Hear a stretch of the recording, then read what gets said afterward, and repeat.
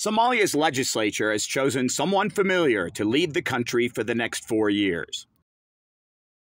This unprecedented move, Somalia had always chosen a new face for president, signals a desire for some stability and experience in the executive chair. Hassan Sheikh Mohamud comes from the NGO world, and international partners such as the United Nations, World Bank, and IMF are comfortable with him. The dynamics in the immediate neighborhood may change, though.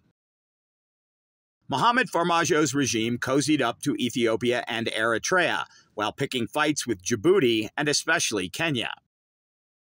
One would expect a more level playing field with Somalia's neighbors based on Mohamud's previous track record. It is also likely that Qatar and the United Arab Emirates will be on equal footing as development partners, at least initially. Ankara is likely to continue as a strong development and security contributor. As Recep Erdogan's government's engagement with Somalia has spanned several administrations already.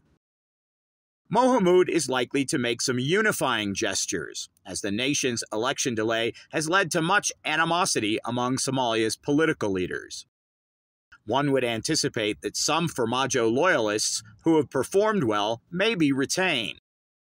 Finance Minister Abdirahman Beyle and Planning Minister Gamal Hassan stand out.